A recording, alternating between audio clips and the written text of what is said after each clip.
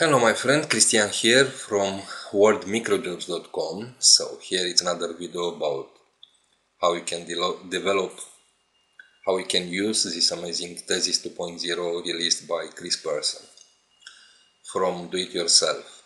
So here um, was um, was some videos about uh, simple presentation about site, HTML head, tracking point, 404 page, homepage, SEO, and about skin, skin select skin and skin editor. So here it's um, the most important things. Now we uh, will um, talk a little about boxes. So here we have boxes and select boxes.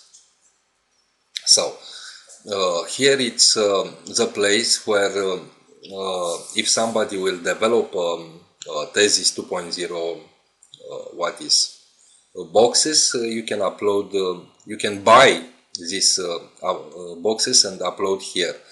So if you don't want to develop um, Thesis 2.0 skin, you are good to, to insert um, here um, to upload uh, some boxes. So choose file, add boxes and you'll have a, a site already made.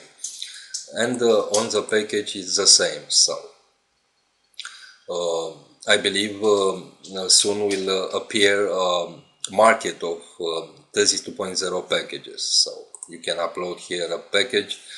Uh, so you can install this theme. You can uh, forget about uh, skins and skin selector and skin creator and you can go to boxes and packages and you can uh, select uh, and upload uh, the package you already you you just bought from somebody yes then you can save and your site will be online so unique design original and unique design made by something by, by somebody. But i believe uh, uh, the man or the woman who will sell your uh, package will sell uh, to multiple uh, uh, customer to multiple clients. So will will not be so unique.